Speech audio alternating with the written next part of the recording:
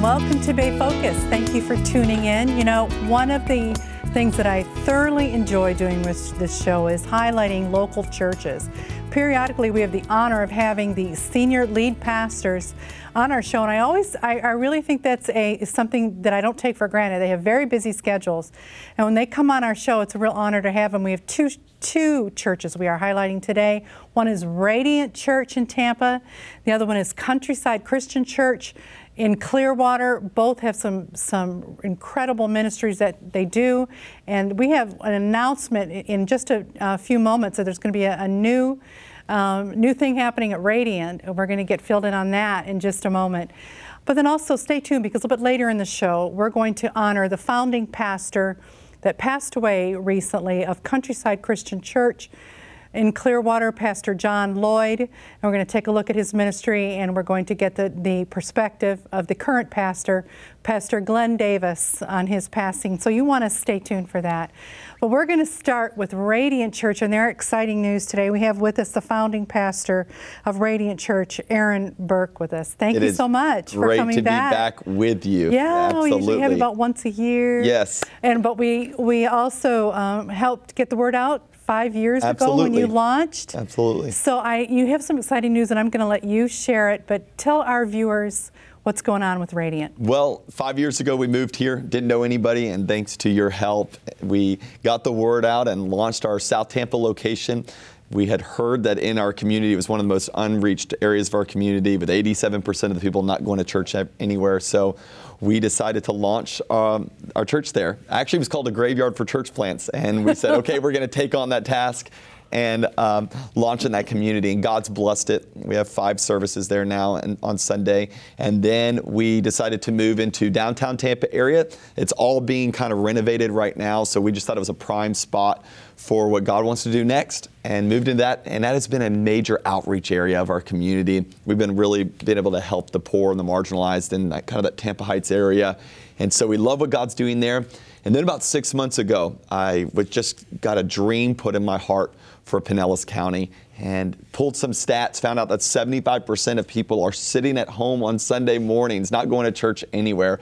And that's a large group of this peninsula that needs Jesus. So we decided to launch our third location into St. Petersburg and it's coming on September the 16th. We are ready. Our team is ready, and we're excited about what God's going to do. Well, you know, the thing about St. Pete is it's just this booming area too. Yep. And you guys are a, a little bit on the on the um, a good location in St. Pete to kind of hit everything, yeah. including other parts of Pinellas County. Tell tell our viewers where it's going to be. Well, we will be at Canterbury School, right mm-hmm. off of 62nd um, Avenue, and so it's a beautiful school. If nobody's if you haven't been there, it's mm-hmm. a beautiful private school right there. Yeah. We've really partnered with the school to be a blessing to them, but it's got a great auditorium. We have great spaces for kids and it's right in the middle of a bunch of communities and yeah. neighborhoods. So our whole goal is to hit really those young families. It's who Katie and I are. We have yeah. three kids, one on the way, so we've got four kids, which is people think we're crazy, but we we love it, and so we That's really want to minister. yeah, yeah, fourth one. Yeah, it's exciting. So. Um, we're just really excited about reaching that community. And I think it'll actually be countywide of what the Lord will do mm-hmm. yeah. through that. Uh, we have a couple hundred people every Sunday that drive the bridge over to attend Radiant. Yeah. So for them, it's a breath of fresh air. Yes. We just think for the local church to be effective, it really needs to be local. So it needs to be in their community. So while these people drive over the bridge every week, I think for them it'll better help them reach their friends and family that right. don't know Christ by having a local community for them to be part of. Yeah, and you already have, you give them a shout out you know, to, to, you have a pastor in place? Yeah, yeah, we have an amazing location pastor there, and his name is Kenton. Him and Alyssa yeah. um, actually moved from Pensacola to help us start Radiant five years ago. Crazy story. They get married, they go on their honeymoon, and then the next week they move to Tampa. So it was like, it was a major faith step. Yeah. And then they've just been part of our team for the last five years, and God brought St. Pete into their hearts. They moved in the community, been small group leaders in the community for years. Yeah So they're really excited. They'll be pastoring this area. Well, you know, the, the one thing, and, and you mentioned it too, and, and just give it, give our um, viewers, and I want to point out too that all these campuses, you are preaching at them. This is all done yeah, through satellite, you know, uh, Yeah. streaming and everything that you're Using technology, for God's glory. Yeah. Yeah, you're, you show up life size at each, Yeah, absolutely, absolutely. at each campus. Um, but uh, and then, but you also have pastors in place for Yeah. those for those churches. Um, but you you mentioned it briefly. You have a you, you're targeting. Who are you targeting with your ministry? Everybody has a vision Yeah. for their ministry. What's your vision? Well, our target's really simple. Our target is people who don't know Christ. So, I mean, we're the we're a Luke 15 model where Jesus was interested in the lost coin, the lost sheep, the lost boy, and that's kind of our focus, the lost son. So we just go after people who have kind of given up on church or um, maybe have bad church experiences. We had. Um, uh, yesterday, right at a, a hundred people going through our new attenders class. We do it once a month, and polling those people.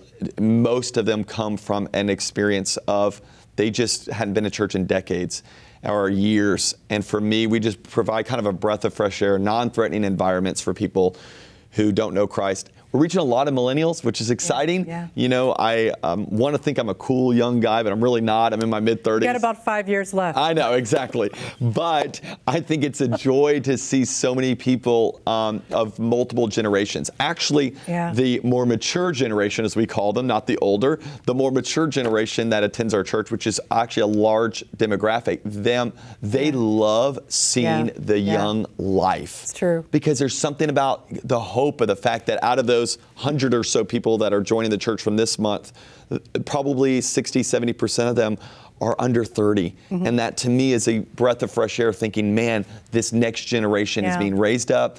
They're going to get married within the church. They're going to raise their kids in the church. Their kids are going to come know the Lord. Uh, this is this is the hope. The local church is the hope of the world today. And when Yeah. we do it right, we're going to reach this next generation and carry on and really pass that baton to what God has next. Well, you know what? It's, it's, that's huge because that is also, if you read any of the st- statistics that you look at church growth or lack of church growth or demographics of various groups, that's the group that opts out of church a lot. Absolutely. And to have a church that, that you're growing in Yeah. that group. And I, I want to give a, a little um, um, plug for this because um, we visited a, we have visited a couple times, and it, it you guys are just nailing it in terms of, of the, the all the different types of people that walk through the doors. Young people, um, I you know our, I did see our, our age there, um, but but you're right. The older people that like ourselves, that my husband and I we went, we really it was so encouraging to see all these young people Yeah. um, and that we're coming. And we have a young adult daughter, so it's like you, you, you want that, you know, to see that happening. Okay, so um, tell us about recently. Recently, you did a launch for the St. Pete Night. Yeah, yeah, And you had a particular worship night. Tell us about that. So we decided to do a different model with launching this location, and we wanted to really come in and let the community experience what uh, they're going to experience every single Sunday. So we did our very first worship night a couple weeks ago and uh, maxed out the facility and had had to bring in chairs everywhere. It was a crazy, crazy experience. Lines of cars went all the way down the street of just wow. people excited. It showed me there's a huge hunger in that community. Yes. And what Radiant offers is two things. We offer community where people can connect. They need that. You can watch church online, you can worship in your car, but you got to have community. It's important for life. And we provide an opportunity for people to experience God's presence. I'm still a firm believer that it's His presence that changes everything. So we did a worship night. We'll do another one in August the 22nd. So just in the next few weeks. Yeah. We're really excited about that. And it'll be open to the public. And then we launch in September. So- Wow. Okay. Well, we're going to wrap it up on that. It's a good a good stopping point. point, and I, I just want to um, commend you on on following God's call. These are big steps. Thank you. This is this is a commitment of volunteers, Yes. of people coming, of music teams, of tech teams, all these kinds of things that need to be in place, and they have the heart and the vision for it as well. So keep us posted here at Bay Focus and how things We're go, so and give us the start date again. September the 16th, we'll launch with two services there at Canterbury, and then get all of the information at Radiant Tampa or radiantstpete.org. Okay, sounds good. And we're going to, to let you take a look at that worship night uh, before we continue on with Bay Focus. So let's take a look at what happened in that, that first worship night, what's going on with Radiant St. Pete.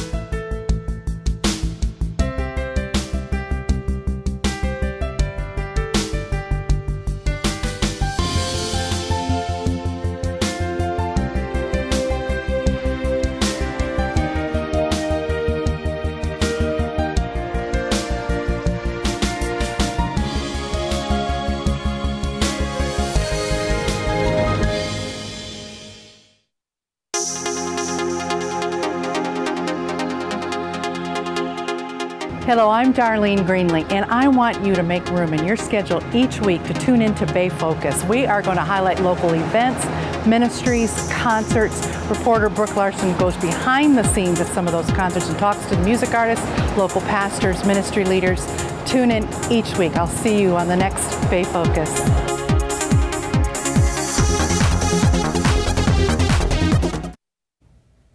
Well, I hope you'll go out and support Radiant Church, and, and there are three locations now, but coming up St. Pete in September, what an exciting thing for them as well. We're going to change directions a little bit, but another phenomenal, great church uh, here in Pinellas County, long time here, Pinellas County in the Clearwater area, has been Countryside Christian Church, and we are honored today to have their lead senior pastor with us, Pastor Glenn Davis. Thank you so much for coming back on. Oh, it's my pleasure. It's been a little while since we've had you, but we have had you a number of times over the years because Yes. you've been involved in ministry for many years. And uh, as I mentioned early in the, the program today, we are going to take some time and the remainder of this program to honor the founding pastor of Countryside that passed away, that was well known in this area. Uh, he passed away a few months ago. I also had the honor of interviewing him uh, a few times here on Bay Focus over the years. But we wanted, it is such an impact in this community. We're going to talk to him but about him. But before we do that, I want you to update our viewers for maybe maybe brand new to some of our viewers uh, tuning in. Tell them, to start with where Countryside Christian Church is, a little bit about the ministry. Well, Countryside Christian Center was founded in 1981. It's at 1850 McMullen Booth Road in Clearwater. And God's doing amazing things. We have a school there from newborns up through eighth grade. Um, we're a very multicultural, multi generational church, Yeah. very intentionally. And our heart is to reach the community and to touch people's lives with, with the message of Christ, to see them become fully devoted followers. Yeah, and you do this, and, and I, you did um, for many, many years, known as Countryside Christian Center. You've recently done a change to Countryside Christian Church, so that's what people driving by, that's what they, they will see now, correct? That's right. So, so it's the same church, been started in, in uh, 1980, I believe. Um, and I, I want to specifically say, because I, I think when I, you know, I always try to do my homework. I'm very familiar with this church as well. I've visited every one of your locations since, except the house church. It's the only one I wasn't at, but every one I have visited and been at services at. I had two brothers that have been involved there over the years, including my oldest brother who passed away, who used to be even on one of the elders years right. ago. Yep. And um, so we visited all the locations, always ministered to when, when we did. But you guys do do I mean between that you, you kind of flew by the Christian education. You do the Chr- Christian preschool, the Christian academy. You do before and after school care adventure club. The Christian Life School of Theology. You're heavy into Christian education and outreach, providing food, clothing, um, food trucks, all these things for your, the community. So you guys have a huge imprint on, on the community, and I want to commend you for that. And then Pastor Glenn, um, just give us the just before we head into talking about Pastor Lloyd. Uh, you've been there for a long time. Tell tell our viewers your the impact this ministry has had on you. Well, I started going here in 1981 when I was 15 years old and just served. Um, fell in love with Jesus. Um, was the youth pastor for 20 years, Yeah. uh, was the executive pastor for 10 years, and uh, became the senior pastor in 2010. Yeah, yeah. So you have literally walked through it all and came up within. So it's it's a good example of when you. Um, you know, you're in a ministry and then you are promoted from within and you you bring come up through the ministry. And the one of the big reasons is that is you worked under side by side with the founding pastor John Lloyd. Um, first of all, um, um, I think, I think it was just a couple of months ago, if, my, if I have my my facts correct, it was June 16th. Correct. He passed away. Um, he had had a battle with cancer, Correct. correct? Um, but tell us, uh, we're going to, I want our viewers to stay tuned because just a moment we're going to do, have a video that kind of chronicles his ministry at Countryside over the years. But tell us a little bit about him. Uh, he came, what they're not going to see in the video, he came from like a product of the 60s. Correct. Tell us a little bit of his story and then how you encountered him. Yeah, he got saved in the Jesus movement, and he ran a coffee house in Fort Wayne, Indiana. Petra was his house band. Honeytree was his secretary. Wow. Phil Keaggy came through that ministry, all kinds of Christian music. He was really one of the founders of contemporary Christian music. When he came here, he came here for a year. He served at Christian Retreat, and then he began Countryside in a living room with seven people. My family started the second week, Wow. and there was something special about that man. The zeal that he had for God, the zeal that he Yeah. had for the lost, the zeal he had for prayer was uncommon.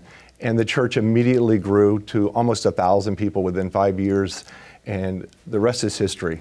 But he was a zealot like I've never seen in my life. Yeah, and you and you know when I'm um, thinking of one of the things that I remembered was so clearly when we would visit, um, different times we would visit because we a lot of those years we were not living in this area at that time, and we would come back and visit family, and we would go to church there. You also had big productions. Music was huge. Music was huge. Yeah. Has always been and continues to be at Countryside. You've always been on the cutting edge of contemporary music, and um, but he, he had an ability to teach. Yes. There, you know, you have you have different things when you say pastors, but he, he I guess would be uh, um, pastor teacher could be a Absolutely. And evangelist, he Yes. had so many gifts. Um, Yeah. But he really looked at the music as being a tool to draw people in. Yeah. And then he was so discipling of people and raising up leadership. Almost everyone through the years, we've probably had 60, 70 pastors come through, Mm-hmm. associates. They were all raised up within our church and through Pastor Lloyd's ministry. It was uh, a dynamic heart of discipleship that he had in teaching. So if you were to say, if, if you were to say for your own um, your own ministry and everything that you, what have, what has been some of the takeaway for you and I? Because obviously he's he was the founding, and there was some time he did he did retire from. Um, from countryside, went on to ministry elsewhere, um, and I think he retired. If I'm real correct, I may not be correct on that, but I know. But you then you were given the reins. It was a logical passing, like like you had been actually trained under him for this for this um, passing the baton. But you've also made it your own and really had your own vision for ministry, your own. But the takeaway for you, having worked under him, what have you learned and what have you applied in your own ministry from it? The importance of prayer. Uh, Oh, prayer is the big thing. foundation of it all. Uh, it kind of Yeah. rises and falls on the prayer of the church. Um, the importance of evangelizing and reaching the lost, always having the heart for the one. Um, Yeah. We have an altar call every service that came from Pastor Lloyd Yeah. because if there's Yeah. one person that comes in that doesn't know Christ, that could be the opportunity that they have to hear it. That's right. And so that's very important that we do that. Right. Um, and also just to be on the cutting edge of reaching today's culture. We want our church to be a footprint of what our community looks like. So Yeah. we want to reach people from birth to death. So we have all generations and all races Yeah. in our church. is very Yeah, important. I love that. I've always, I've always felt, you know, that churches to strive for that, for the, for the multi generational, well, along with the understanding that some churches have a niche with a certain, you know, certain group. But I have, I want to, I want to jump on, I, I want to jump on the prayer thing, because he, I, I have memories of that. That was a huge thing on Saturday nights That's right. For many, many years. And then it transferred, I think, into Sundays before services. Yes. And worship nights And worship, prayers yeah, as and as well. I say, with the prayer. Um, and I, I, you know, if there, and I, I might be getting um, a little bit. I don't want to be soapbox here, but if there, there, I know there's anything that I lament greater in, in the church is, is have, and, and some of that's because of the advent of multiple services. You have to keep things moving. You have to. The next group is coming in the parking Right. lot with the, you know, all that. But to create avenues for prayer, Right. to create uh, for that, and that's something he did. Absolutely. People would come. For years, we'd have that. three to 500 people on Saturday night just It was praying. unbelievable. Just praying. Yep. It, it was on, along that line. Okay, uh, we have just a couple of minutes left. Is and uh, before we transition to this video, tell me a little bit on with and you know, obviously with well, we're going to close out with Pastor Lloyd, but where are you? The vision ahead here for Countryside. Where, you, what do you see ahead here? What, what are, what are some things you're doing and working on for your vision ahead? Well, we're working on a dream center right now. We have a ministry called Helping Hands where last year we gave out close to 800,000 pounds of food to the local community. Wow. So we feed 50 to 60 families every day, Monday through Saturday. And so we want to continue to be an outreach church. We just rebuilt our old sanctuary into a youth center. So we are always going to be focused on the next generation. That was my heart for many, many Oh, years. yeah. It'll never go away. And so it's very, very important to reach that next generation who is so desperately needing a Savior. Yeah, yeah, and I, you know, one of the things that um, um, Pastor Aaron Burke, who you know, said with Radiant Church before, how important it is for the the, the older generations to come alongside the younger and and try to help them and, and really try to try to bring them into the kingdom. Are you seeing that at your church as well too? Absolutely. Yeah. Absolutely. I'm not as cool as Aaron, but um, we're, we're reaching um, some millennials. I'm a Gen X guy. We're reaching the Gen X, but we're really leaning on the older generation to Yeah. mentor the next generation. So we Yeah. include them to be a huge part of, of Yeah. leadership in our Yeah, church. I think I think Pastor Glenn, you're, you guys are about equal on the cool level. I'll just I'll just give you that. I'll give you guys that today. But I went to I visited your church a few few weeks ago, and you had a very relevant message that a lot of uh, young people would have enjoyed too. All right, we're going to we're going to. Um, uh, lead into this this uh, video. I think of Pastor Lloyd. Um, I just I I just want to say from my perspective uh, a little bit too uh, is what a tremendous impact he had in this area to in to Pinellas County to build the work that he did and when he started it to reach that Jesus people generation. Um, just lasting fruit, like you said, ministers that have gone out gone out from the church. Um, what if you could? I'm throwing this at you. If you could say uh, of his legacy um, that to you stands out, really just stands out the most. You knew him as a man. You knew him as, as a family. You knew the, you, you saw him trials and tribulations, everything. You know, you guys working side by side. You saw the different things. What what is his legacy? His legacy, he was real. What you saw in the pulpit was what Yeah. he was outside of the pulpit. He was my spiritual father. So my heart aches right now. Um, Yeah. But he was a soul winner. Yeah. He was true blue. He stayed faithful to God. There wasn't scandal in his ministry. Yeah. He stayed faithful to God from the beginning to the end. Um, just a pioneer. He was a pioneer. You can't ask for more than that Yeah. for any of us. That's Thank right. you, Pastor Glenn, for your thoughts on this. And we're going to close out the program today with a look at the ministry.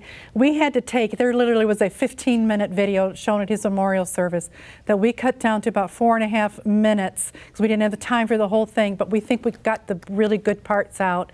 So you want to look at this on his history of Pastor John Lloyd's ministry here in Clearwater at Countryside Christian Church. Blessings. See you next week. In 1980, Pastor John Lloyd responded to God's sovereign call to leave his ministry in Fort Wayne, Indiana. Stepping out in faith to move to Clearwater, Florida, Pastor John founded a church in the living room of Paul and Ellen Eckley in 1981, calling it Countryside Christian Center. I thought, well, you know, we've got to start somewhere. And we started with about five people, and we grew to about 50 people in their living room. Caused a little problem with the cul-de-sac. The cars parked everywhere on Sundays. In 1982, Countryside found a new home at the Kapok Tree on McMullen Booth Road. With more room here for expansion, the church grew to 200. Then, the Lord led Countryside to the 12th floor of the 1100 building in downtown Clearwater. I didn't know, you know, how many kids were going to come where there was no signage out front, and there were three elevators, and I just didn't know how that was going to work. And then surely as can be, the Lord spoke to me and said, What happened when I was in the wilderness? And I said, Well, multitudes came. He said, Wherever I am, people will come. The church remained here for the next four years, where it grew to 800 people. In 1986, it was time to move again. The congregation purchased 12 acres of farmland and began construction on the very first building. And so I looked at it, and we ended up uh, purchasing half of it. We couldn't afford all of it.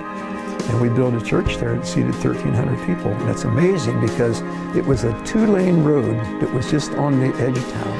And it became like a six-lane highway. And we were right on the main road. Only three years after this, the church would purchase an additional 12 acres for a much-needed education building. This would be used for classes, student and kids ministries, a fellowship hall, and a Christian training center. Over the next 14 years, Countryside would double in size and see thousands of lives changed with the gospel of Jesus Christ, both locally and internationally. In 2004, God called Countryside to expand once again. A new worship center was built to accommodate the growing church, and the original building would be transformed into a student center. Pastor John remained at Countryside after 29 years of ministry. He has left a kingdom legacy which will live on through the ages in the thousands of those he won to Christ here at Countryside Christian Church and around the world. He has blessed and mentored so many in his ministry here on this earth. If God said he'd do it, he'll do it. Hello? If God's promise says that He'll supply all our need according to Christ Jesus, He'll do it. Put your trust in Him. It's faith. Is God a liar or do you believe Him? Are you putting His trust in Him? Are we worrying, grieving? You know, I don't know what's going to happen. I prayed, it just didn't do any good. Oh, pray for me, Pastor. Pray for me, Pastor. It's not going to do any good. I can pray for you, but if you don't let the word get into your heart and believe it, I can pray all you want until you believe God, nothing's going to happen. It's when you believe Him, then God will cause things to happen in your life. I'm just an old hippie, man. God save God happy, you know. I, I, think I might have a little bit left in there still. I don't know, but I've, I've matured a lot and mellowed out, you know. But I still like playing my guitar and make a little noise. And, No more LSD for me. I met the man from Galilee. That he saved my soul, made me whole, and heaven is my home.